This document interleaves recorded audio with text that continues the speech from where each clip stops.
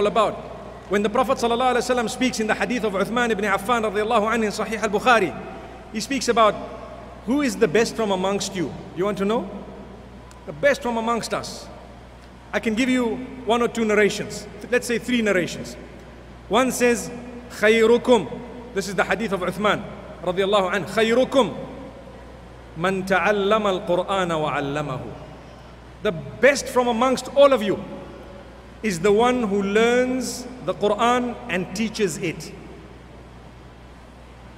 And this is not confined only to one who teaches alif and ba and who teaches all the, you know, the fatha and kasra. That is a part of it. But more so, it is the teachings of revelation.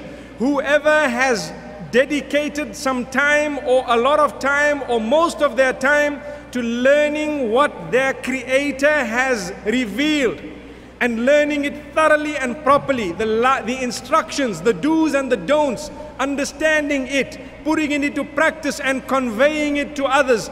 Nobody can be better than that person.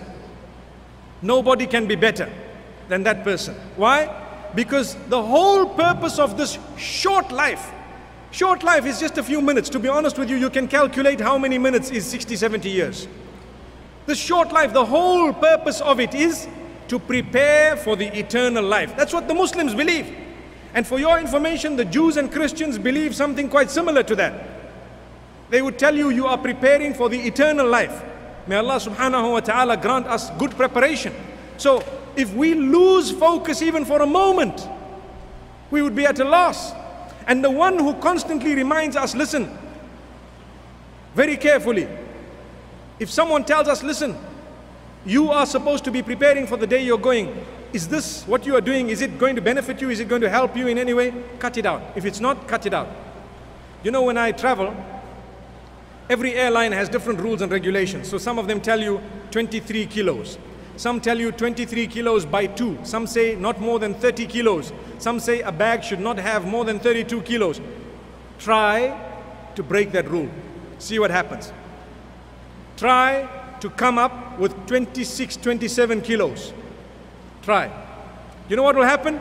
They will fine you, they will charge you, or you will have to remove things. And this is why a lot of us who travel a lot, we've only got necessities in our bags. That's it. Brother, you came all the way from Africa, you've just got a bag in your hand? Yes. Why? I don't need anything else. I'm not going to carry my whole life with me. I'm traveling. The hadith says, lead your life as though you are a traveler. Lead your life as though you are a traveler. You want to gather everything and you're forgetting the main focus. Today, people tell you, my main aim in life is to be able to own the three big buildings in the center of Tobago. I hope Tobago has big buildings, inshallah. My aim in life is to own those three buildings. So he starts working at the age of 10, 15. Perhaps he is so focused and dedicated Listen to this example. So focused and dedicated that at the age of 50, he owns those three buildings. Wow. What was required to do that? Focus and dedication. Two things. He knew what he wanted, he was focused on it, and he was dedicated. He made sure he got it. And then at the age of 60, the uncle on his deathbed, may Allah protect us all, and then he says, Wow, I really am excited.